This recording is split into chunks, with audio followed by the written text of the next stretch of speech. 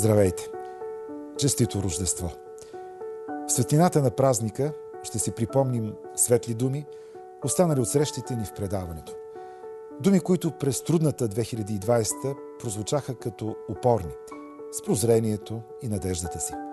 Ще има и музика, музика от спектаклите на Старозагорската опера, към чиято сцена неведнъж поглеждахме и сега ще го направим пак.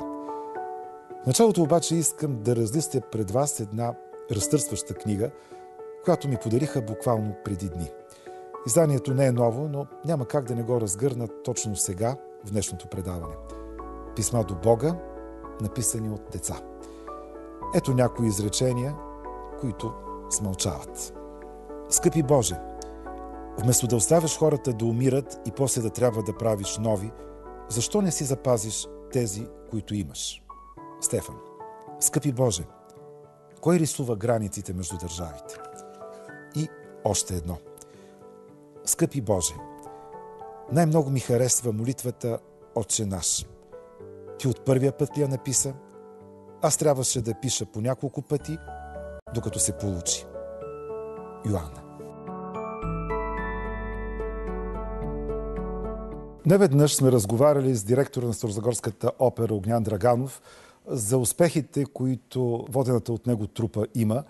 И в тази година, която оставяме зад гърба си, успехи имаше, активен живот имаше, независимо от обстоятелствата, независимо от препъванията, които ни донесе пандемията.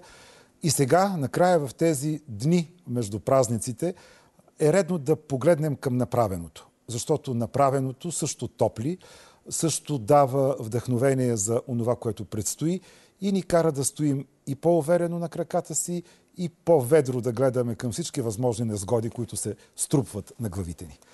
Откъде да започнем равносметката на тази година? Аз първо искам да ви благодаря, че ме поканахте във вашето предаване, което носи едно много знаково име в момента рецепта за култура. И се надявам всички ние заедно да намерим тази панацея, тази рецепта, която ще помогне на изкуството да продължи напред. Защото, както споменахте, тези препъвания действително бяха доста трудно за един оперен театър. Всички трябва да си дадем сметка, че всеки един от тези спектакли, които ние направихме през целият този от минал сезон и началото на новия сезон с неговото откриване, са като едни дръвчета, млади дръвчета, посадени за да, да могат да израснат като бъдеща голяма гора. Аз си спомням, че поглеждайки към архива на нашето предаване, първото отразяване на ваша премиера през 2020 е свързано с Африканката. После има още едно и разбира се и други поводи.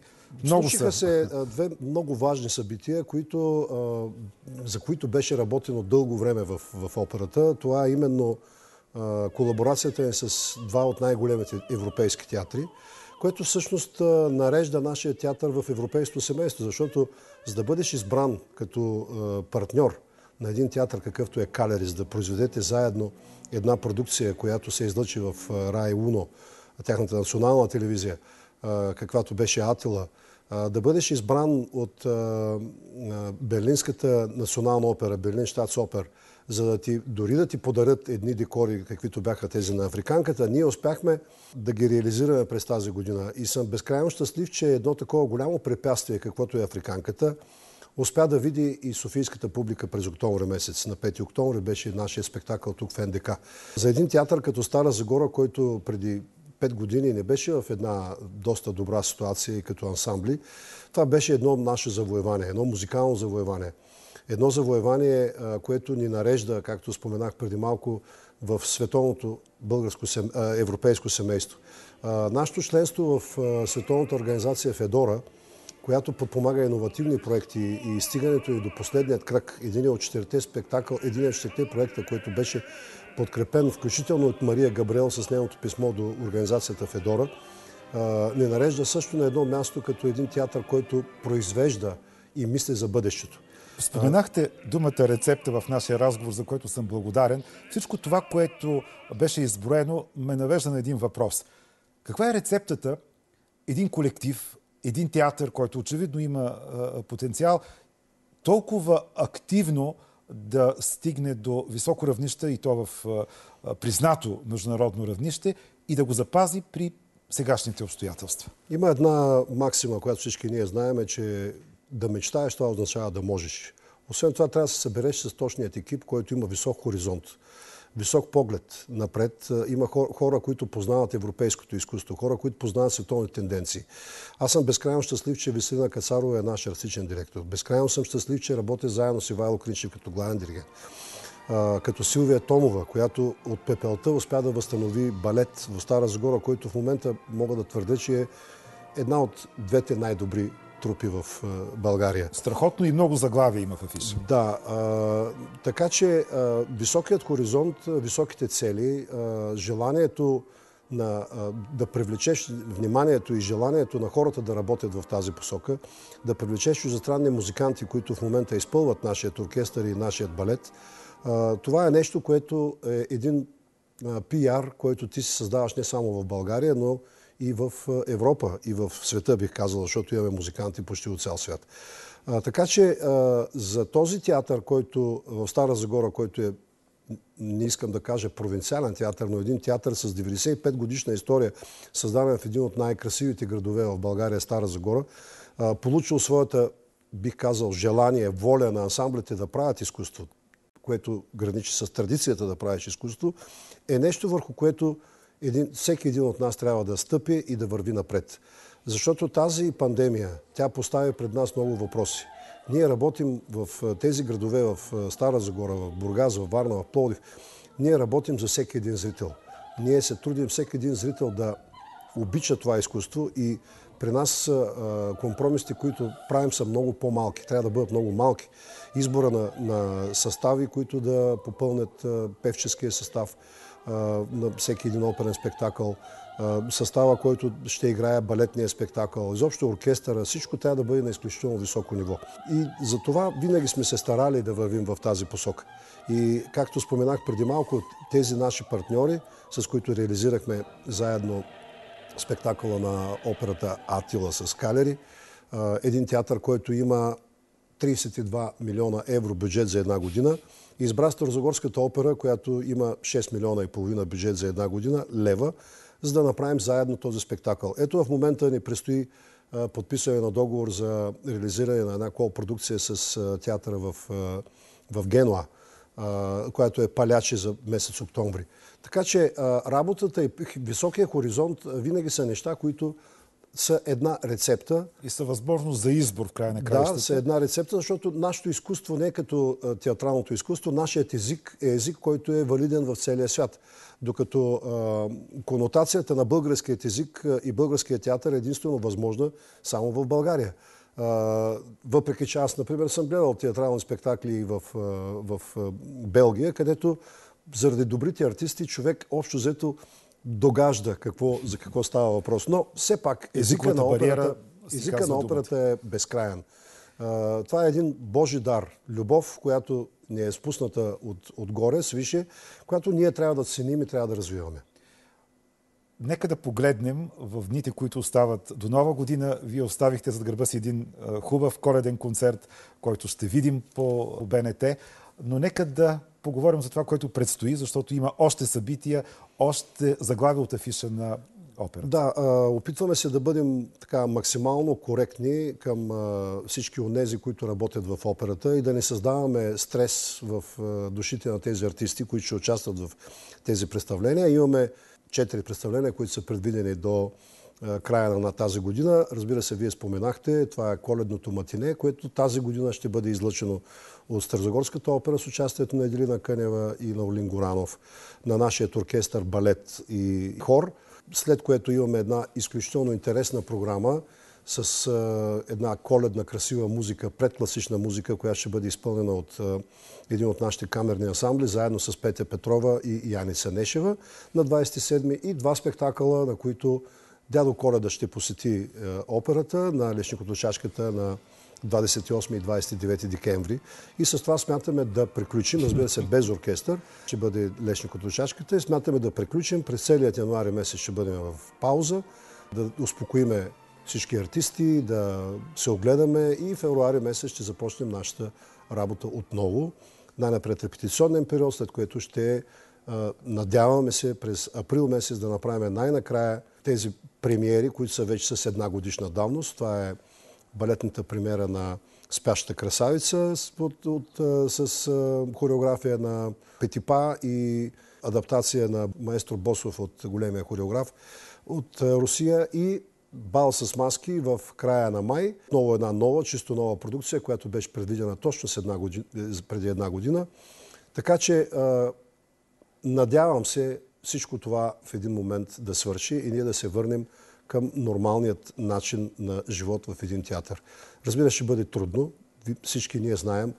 Аз лично като човек, който съм четящ, безкрайно съм щастлив, че в момента много хора заместват операта и театъра, театралните зали с книгата. Да, това е което, е нещо, което винаги е в наличност, винаги е възможност. Винаги е в наличност и винаги е много безопасно и разкрива един свят не по-малко богат от света, който ние можем да срещнем на оперната и театралната сцена. Но а, все пак една държава, един, една България, която развива своето оперно изкуство от 120 години, а, не можем да кажем, че има здраво изградени връзки а, между публиката и, между публиката и нашето изкуство, всъщност тези, които правят това изкуство. Така че се надявам да нямаме големи поражения, след като се върнем отново на нашите сцени в пълен състав на публика и хора, които са на сцената. Аз също се надявам и не спирам да подчертавам, че дължим благодарност на нашите зрители, които и в трудните мигове, зрителите на всички сценични изкуства, показаха не само безстрашие, влизайки в залата, но и подкрепиха артистите тия, които се да. питат кой ще ни гледа. Дадоха знак, че грижа, внимание, обич към тях съществуват. Цял един месец няма да играете януари. Какво ще чете Огнян Драганов през този месец и какво ще върши, защото това, че няма да има представление, не означава, че работа за директора няма. Аз безкрайно обичам камерната опера. Споменавал съм в много интервюта и Камерната опера е един, една лаборатория за всички нас. В момента имам, имаме един проект, който желая да реализираме. Това е на Албър Херинг, една изключително интересна, тя не е точно камерна опера, от Бенджамин Бритън. Разбира се, трябва да я науча на Изус, след което имам още една задача с моите студенти от Национална музикална академия.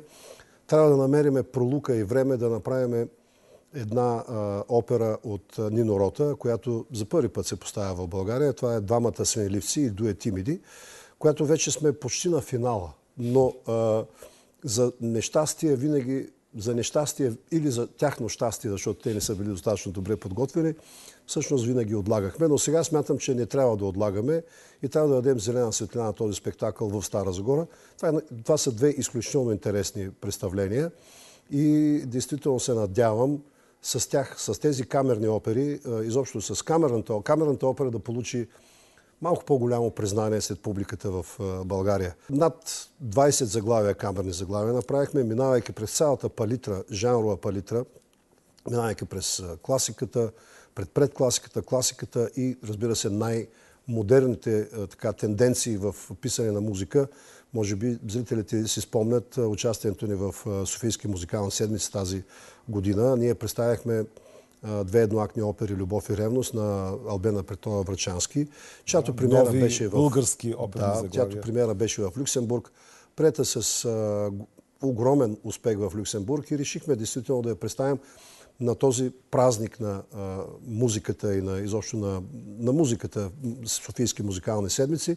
И се получи действително така едно изключително интересно, топло приемане, въпреки странността и въпреки а, обикновенно музиката, която слушаме и ни обкръжава, не е тази, която обикновено се чува, но когато има смисъл, когато има а, добри изпълнители, когато представяме е, такова заглавие на точното му място, действително то получи един много добър отзвук. Безкрайно съм щастлив за това нещо, че камерната опера би могла по някакъв начин да получи шанс за развитие в България.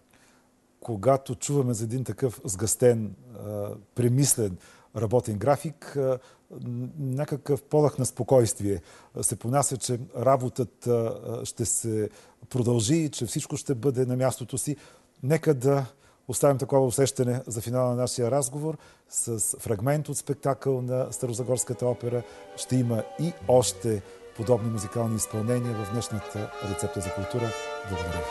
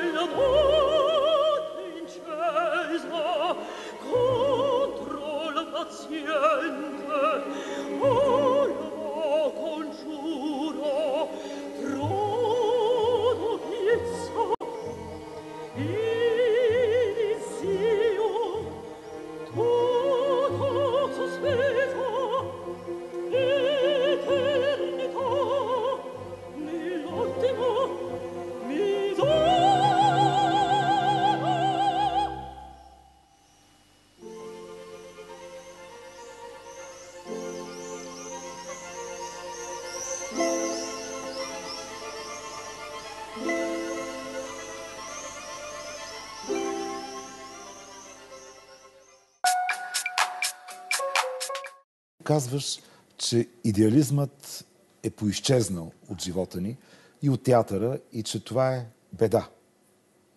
Беда е. Да поразговаряме още за Идеализма изчезващ за мен значи идеализъм. отдаденост. Значи безкореност, безкорисност. Значи близко до тази тема и идея, която има и при Петко Тодоров в Зидари, който казва, че човек трябва да даде парче месо от себе си, за да има смисъл. Кой как го разбира и в каква степен, зависи вече от възпитанието и от разбирането и от необходимостите на човек. Но че това трябва да е така, съм категорично убеден. Убеден съм и в така, както и в това, че каквото и да се случи, истината винаги излиза. Нея ще я има и тя ще бъде там, където трябва да бъде. В този смисъл, колкото по-малко човек употребява сили, толкова по-добре. Става въпрос да употребяваш сили, за да я докажеш, за да я има и за да убедиш хората в истината. Истината е истина. Нея ще я има и тя винаги ще бъде това, което трябва да бъде. В този смисъл, нека в живота си да бъдем колкото си може повече истински и да насъдим тази истина между нас. Да, извинявай, току-що се сещам една мисъл, четох днес. По-добре е да говорим истината, защото по-малко ще помним. Тоест, ако лъжиш, трябва да помниш какво си съм лъгал днес сега, примерно с теб в това интервю. И ако го започнем от начало, сега ще кажа аз какво лъгах там и какво трябва да кажа. Искаш ли да го започнем Ако съм... Да, с удоволствие, нямам проблем. нямам проблем. Аз никога не съм питал журналисти какво ще ме питат и за какво ще си говорим. Но искам да кажа друго. Нека да се държим с хората така, както си мечтаем и искаме да се държат с нас. Нека да поставим в живота си една задача, която се съчетава в две думички.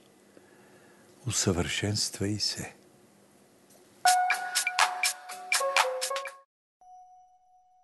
Изложбата Градина на духовността представя Света гора, нейните манастири и художествено наследство, видяни през погледа на български художници от първата половина на 20 век. Погледнато по-общо в контекста на българското изкуство от първата половина на миналото столетие, представянето на Света гора се оформя и като тема, която отразява някои от важните посоки в художественото развитие у нас през този период. Изложбата включва разнообразни произведения – светогорски и възрожденски штампи, копия на стенописи, рисунки и проекти, живописни и графични творби.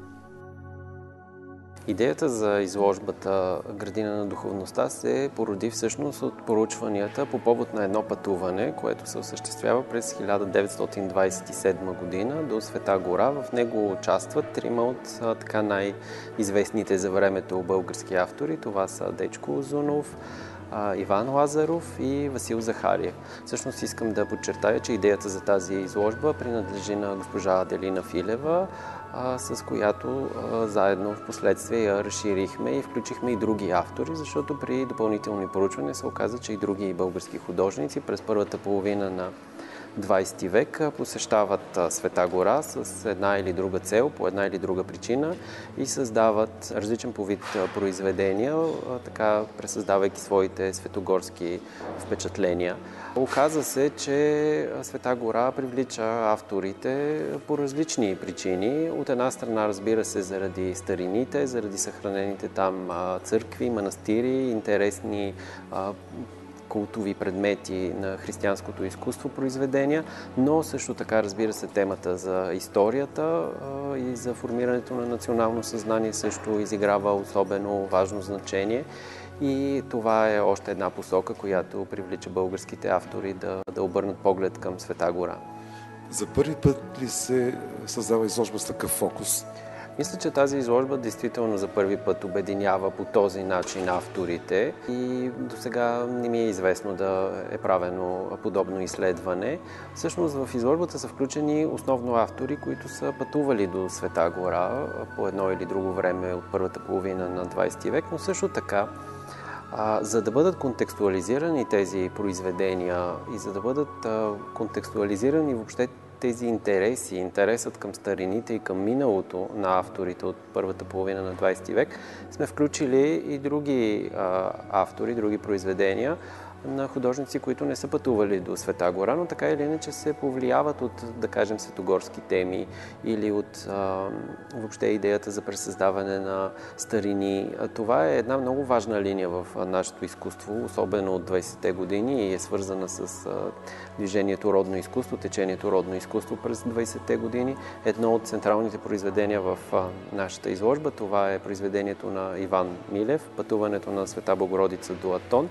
Иван Милев не е пътувал до, до Света гора, но така или иначе а, се вълнува от а, това да пресъздава чудеса, видения, темата за светците, за църквите, за манастирите. А, това много, много силно влияе върху а, изкуството в България от, от 20-те години. Изложбата изглежда богата и е, което пък дава знак, че никак не е било лесно да бъдат събрани толкова много произведения. Вероятно, проучвателният период е бил дълъг. Да ни разкажете малко повече за предисторията Това проучване продължи повече от година. Също така изложбата беше така предвидена за малко по-друг период, но поради различни причини всичко беше изместено в времето, добре известно ви е. А, действително бяха прегледани архивите на, на голяма част художници. Установи се кой е пътувал до Света гора, с какви цели. Някои са ходили по повече от един път. Например, Васил Захариев е пътувал два пъти. А, някои автори са пращани с конкретна поръчка. Например, Цанко Авренов заминава на Света гора с поръчката да направи копия на български ктитори, които са представени в светогорските църкви. И действително го реализира. Още един такъв художник е Николай Ростовцев, който също заминава с тази поръчка на, на Света гора. Разбира се, Света гора привлича интереса и на историци, изследователи, езиковеди, филолози, изкуствоведи. Това също а, оказва влияние и привлича по един или друг начин а, българските автори. Изложбата включва доста разнообразен материал, много различни произведения, освен а, картини и скулптурите на Иван Лазаров в изложбата са включени също така светогорски штампи, които по някакъв начин да ни подскажат за онова старо изкуство, което вдъхновява българските модернисти от първата половина на 20 век. Също така са включени копия, които са правени от художниците, за които споменах, Цанко Авренов и Николай Ростовцев. Едно изключително интересно копие. Това е копието на прочутата фануилска чудотворна икона, която се пази в Зографския манастир. Това копие е дело на Цанко Авренов и всъщност е първото копие, което е правено на тази икона. Той има един доста интересен разказ. Част от него ние сме включили в изложбата. Всъщност в изложбата има и доста цитати, защото всеки един от авторите приема много мисионерски, като някаква мисия, това свое пътуване до, до Света гора. Много често те съставят дневници, в които описват впечатленията си. Особено любопитен в това отношение е Иван Лазаров, който има много приятен език, много увлекателен и с много така жив език ни разказва за, за впечатленията и за това, което е видял на Света гора. Също така Васил Захарев, още един интересен автор, който пътува до Света гора, той пък, например, се впечатлява много от старините и най-вече от запазените ръкописи в библиотеките, прави копирки на някои от ръкописите там. Всъщност това представлява копие на различни декоративни елементи, било то букви, инициали, заставки и така нататък от украсата на, на ръкописната книга. И в последствие много интересно може да се види как възприема различни елементи от този художествен език и ги използва в своята графика и в своите произведения, които вече са с друг характер, не, не църковен.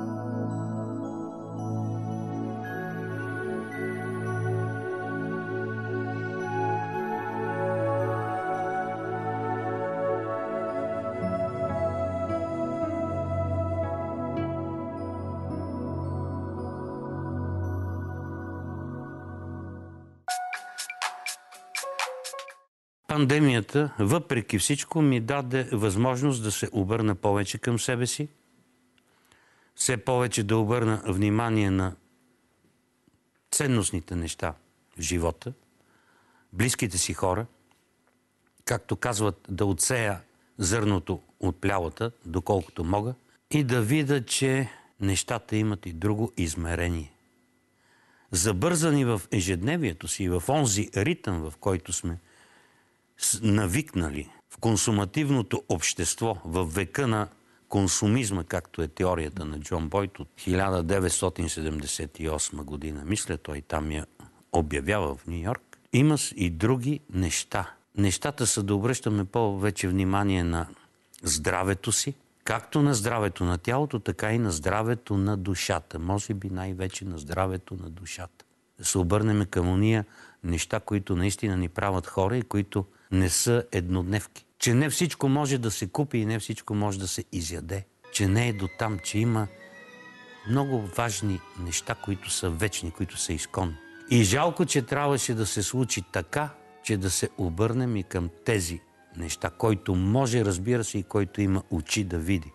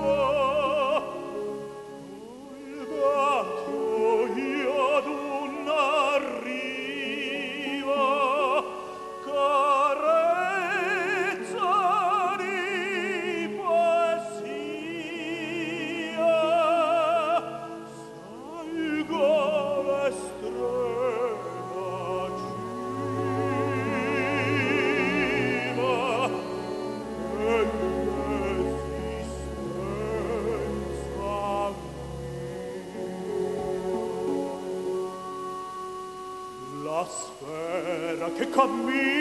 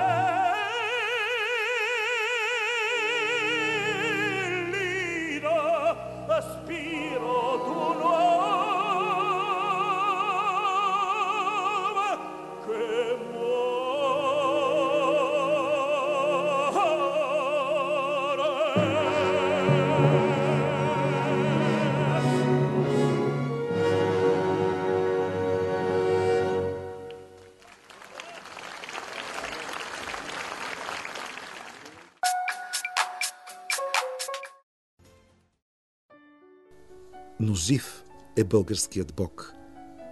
Той нас в най-мрачни векове пази. Пази ни при Шипка, Сливница, Люлебургас. И днес Той бди въз нашите съдбини. И днес Той бди въз нас, не видим страш народен, и не ще да ни остави. О, жив е българският Бог, Богът наш велик и чудеса за нас и прави. И пак ще одолеем. И по-висок ще бъде нашият полет свободни, въпреки всички сили преизподни. О, жив е! Жив е българският Бог!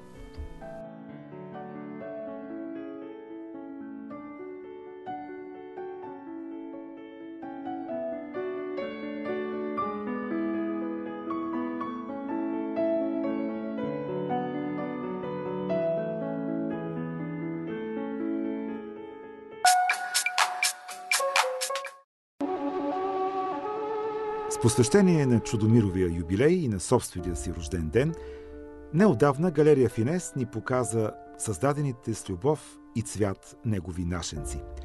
Една пътуваща изложба, на която и предстои още път.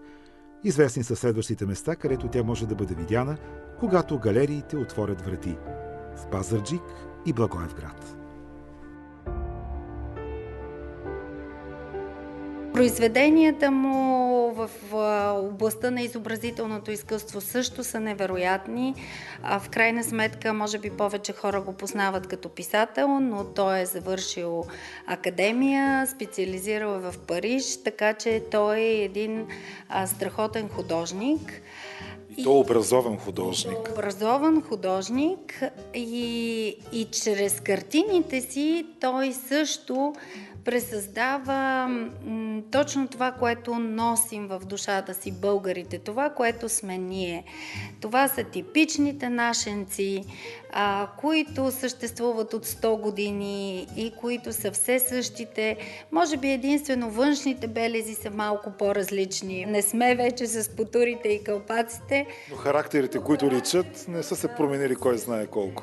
Абсолютно. И това беше една от а, причините да изберем Чудомир. Не само това, че тази година се навършват 130 години от рождението му, но в тези времена, в които живеем, мисля, че трябва да си спомним точно за Чудомир.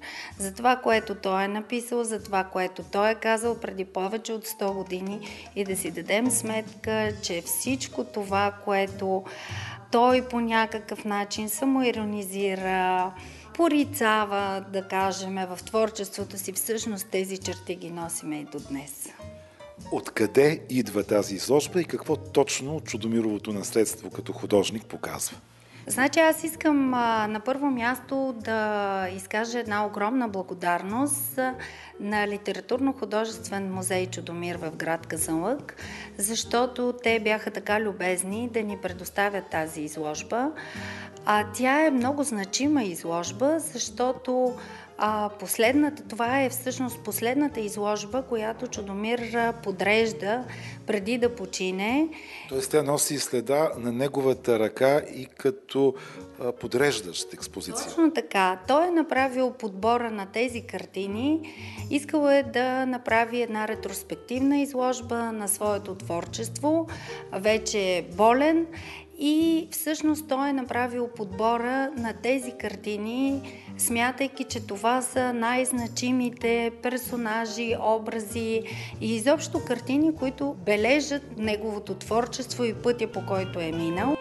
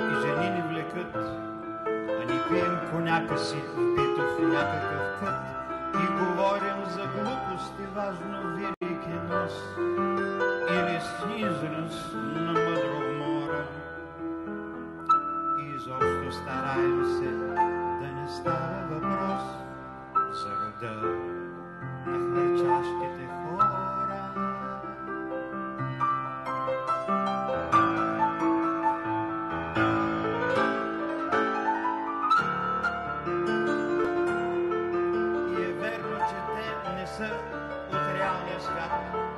Не се срещат на тениса, нямат собствен фиат. Но защо ли тогава нещо тук ни боли? Щом ги видим да литват в простора. Да не би да ни спомнят, че и ние сме били от рода на хвърчащите хора.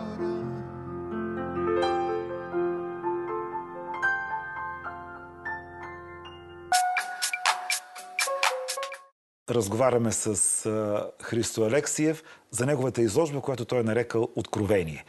Юбилейна изложба, всъщност първата отред юбилейни изложби, нали така, Христо? Да. Нарекал си я Откровение. След малко ще разчетем заедно с теб избора на това заглавие, но всъщност всичко при теб е откровение. Аз мисля, че си от щастливите художници, които не могат да бъдат заподозряни, че правят нещо, изкривявайки своите желания, изневерявайки на своите пориви. Това ли те пази? Ами, точно това ме пази. Откровението. Защото а, във всичко аз се стрема да бъда откровен. В изкуството, което правя, изцяло съм откровен.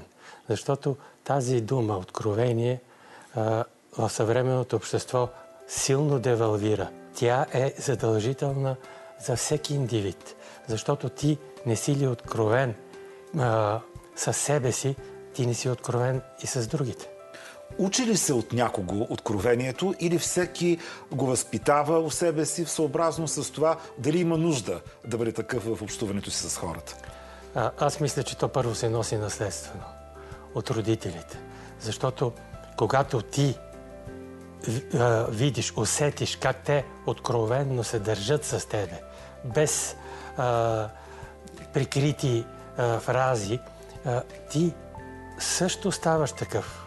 Оттам нататък тези неща а, тръгват и се реализират. Това откровение се реализира. Не е важно с какво се занимаваш. Дали с изкуство или с а, а, какво, каквото искаш друга професия. Радвало ме и ме е респектирало твоето свободно придвижване в различни зони на изразяване, ако така може да се каже. Има твои колеги, които избират и задълбават в една посока, стремейки се да постигнат съвършенство, а ти с лекота прескачаш от плаката към портрета и към какво ли не.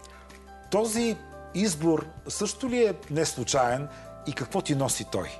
Нещо, което винаги ме е водело. Аз не разглеждам материалите и темите различно. Те за мен са нещо еднакво. Използвам ги веднага, за да подкрепят моята идея. Защото за мен идеята е важна. Аз дори и пейзаж да правя, и натюрморт да правя, там има вид. Иначе въобще не, не започвам да го... Подсъзнателно вица ме води. В едно по-спокойно време, когато тази изложба беше все пак още далеч от своето реализиране, чух от теб, че всъщност твоята юбилейна година ще навърже няколко изложби. Надявам се, не си се отказал това да се случи и че тази на Шипка 6 е само първата. Да, аз а, а, бях предвидил а, да представя е, каталог за моето творчество, като този каталог стана огромен по обем, защото аз започвам от бебешката си снимка в кощето на 6 дена до днес. До днес. Но а, стана една, едно недоразумение с компютърно недоразумение и не можах да го осъществя. Така че ще продължа, тъй като много а, неща от изложбата ми отпаднаха, не можаха да влязат в тази изложба. Ще ги представя а, допълнително по-късно в друга галерия и когато е реализиран каталога, ще го представя на тази изложба.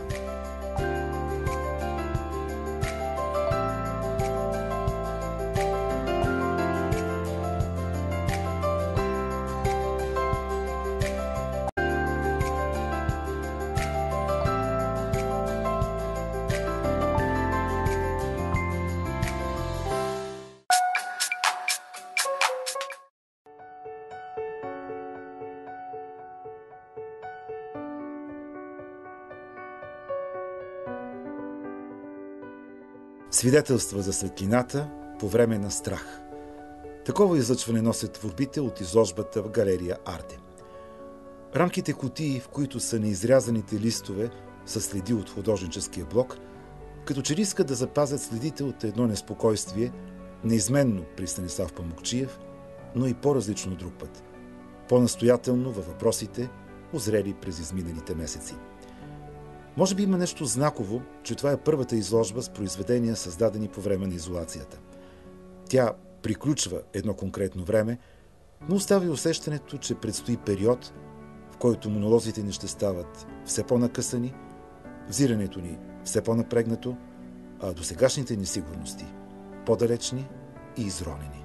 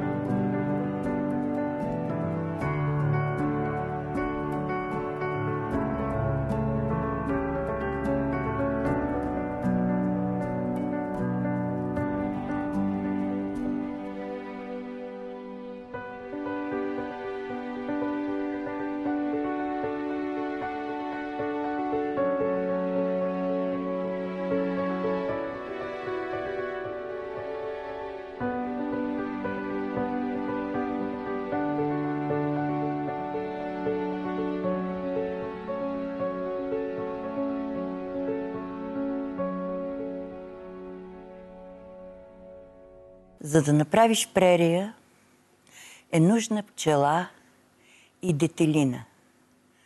И една мечта голяма. Дори мечтата само стига, ако пчела и детелина няма.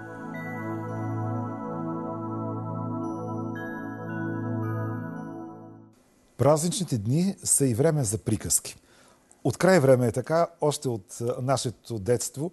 Всъщност част от атмосферата на празника, от семейният уют е срещата с приказките.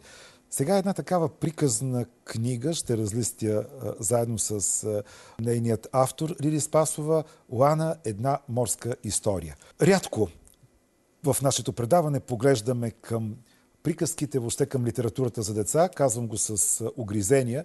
Въобще тази част от книжния поток, като че ли незаслужено остава някакси в страни от вниманието ни. Чудим се къде да я вместим, чудим се как да говорим за нея, хем да не се вдетиняваме, хем пък да не ставаме прекалено сериозни. Ето сега очаквам от Лили да ни даде тон в разговора за тази литература. Може ли човек да пише приказки, ако не вярва в приказките? Ами, според мен е а, човекът, който а, обича приказките от малък, ги обича за цял живот. А, а човекът, който пише приказки, а, както казва голямата наша писателка Кина Кадрева, който обича приказките, обича живота. Така че дълбоко се надявам още от а, ранна възраст родителите, семейството да формира у децата едно положително отношение към приказките и към българските приказки въобще с това да се започне и да се премине по-нататък. Уана, една морска история е поредната твоя приказна а, история, поредната творба, която насочваш към децата. Променят ли се те? Защото това означава да се промени и писането а, за тях. Как усеща тези промени а, и как усеща рефлексите на своята аудитория един писател, който насочва своите творби към тях? Първо искам да споделя, че писането на литература за деца е нещо много сериозно и нещо много отговорно. Безспорно. Радвам се, че пак прозвучава това, тази теза, но аз съм напълно да, наясно, че е така. Тъй като все пак детските души са много сетивни, много чувствителни и грешно поднесено нещо а, би повлияло много негативно върху детската психика въобще. Така че един детски автор трябва да бъде много, е необходимо да бъде много внимателен, когато поднася някаква тема, било то за приятелство, било то за любов, било то за а, желание и страст към приключения или някакъв а, проблем в отношенията и така нататък. Да, благодаря за въпроса. Децата, съвременните читатели, те са изключително читатели от нов тип. Живееме в такова време.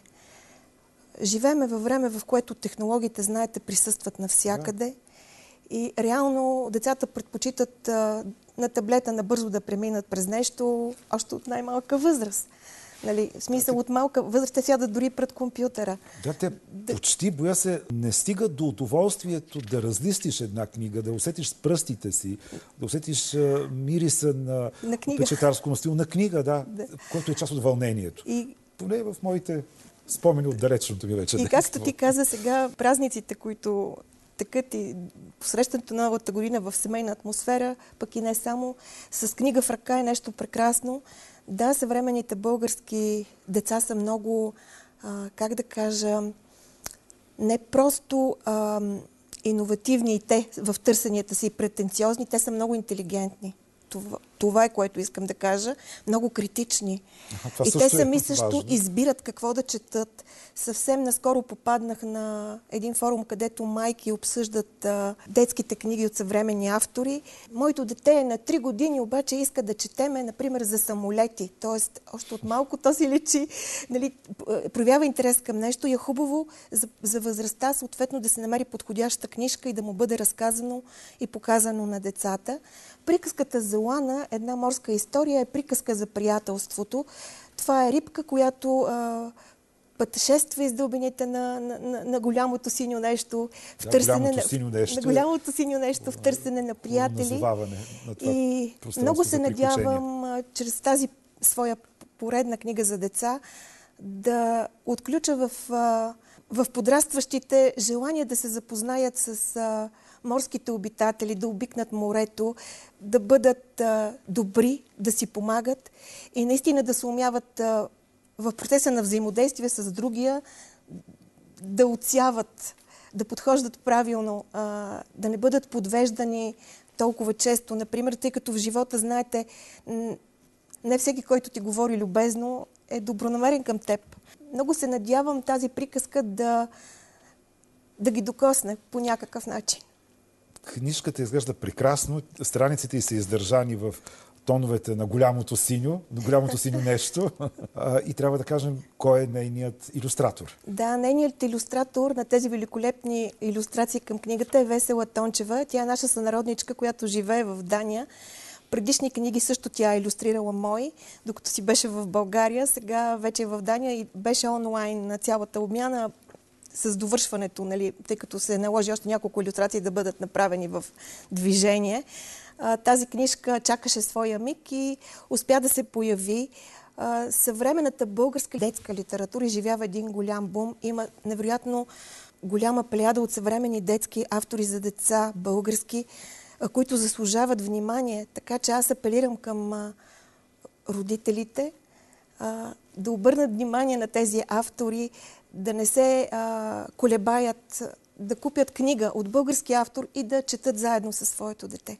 И да я предоставят като възможност детето да се радва, защото книгата Да. може да носи радост. Лили, разбрах, че Лана има своето успешно представяне през годината, имала е срещата си с детската аудитория, но все пак, през кого проверяваш своите приказки? Ами първо през децата си. Тръгвам с тях, с близки приятели, споделям свой проект, четат. Книгата имаше представяне на 22-то издание на фестивала на детската книга в град Сливен. И всъщност това беше първата среща, тъй като книгата излезе тази година, поради пандемията се отложи представянето и в столична библиотека, но за радост на децата и за моя радост като нейн автор, книгата се представи сред децата в град Сливен на фестивала. Издателството, което издаде книгата е на разказвачът на приказки и тъй като това е книга, която е включена в част от, от инициативата за насърчаване на детското четене. Искам да кажа, че първите срещи на Лана бяха онлайн заради създалата се проблемна глобална пандемия с COVID. а, 19, но аз смятам, че българските творци не се спряхме, ами всеки един по свой начин се умя да допринесе с по нещо и да сгрее детските сърца в инициативи Така е. на... Така е. В нашето предаване Да. непрекъснато става дума за доказателства за това, за което казваш. Сега с атмосферата на голямото синьо нещо, един отказ, редове от приказката, която ти ще избереш.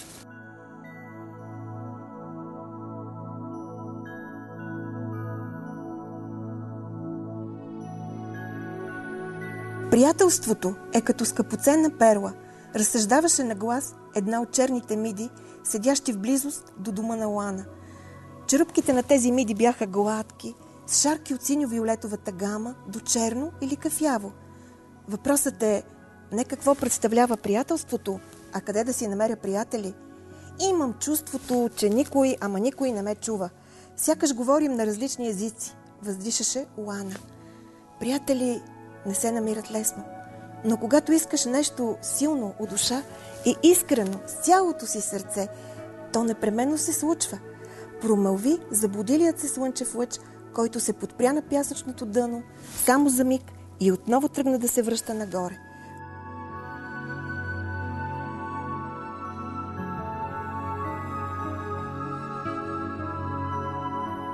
Това беше днешната рецепта за култура. За финал още едно детско писмо до Бога.